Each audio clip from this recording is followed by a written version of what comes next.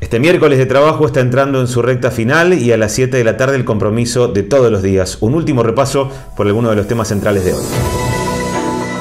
Kisilov anunciaría mañana el aumento de sueldo a la policía bonaerense. Así lo adelantó la ministra de Gobierno provincial María Teresa García. La funcionaria dijo que el reclamo es legítimo, ya que las fuerzas de seguridad venían muy castigadas de los cuatro años del gobierno anterior. La protesta de la bonaerense se replicó en siete provincias. En simultáneo con Buenos Aires, efectivos retirados y en actividad reclamaron aumentos en Misiones, La Rioja, Chaco, Jujuy, Río Negro, Chubut y Santa Fe. En el caso de Misiones, la policía local llegó a un acuerdo récord con incrementos de entre 16 mil y 22 mil pesos para agentes y comisarios. En un acto en Quilmes, Alberto Fernández dijo que los problemas se resuelven frontalmente y no escondidos en patrulleros tocando sirenas. El ATP5 beneficiará en un 99% a pymes. Son cerca de 134 mil las empresas que recibirán el pago parcial del salario correspondiente al mes de agosto. En esta nueva etapa el programa alcanzará a un total de 1,4 millones de trabajadores de todo el país. Autorizan el uso de un test olfativo del INTI para la lucha contra la pandemia. Se trata del Olfatest, un método rápido que permite reconocer el síntoma mediante el uso de seis esencias. De acuerdo con sus desarrolladores, con cada kit podrían evaluarse entre 500 y 1000 personas y será distribuido en empresas, centros sanitarios y comercios que se encuentren prestando servicio durante el aislamiento.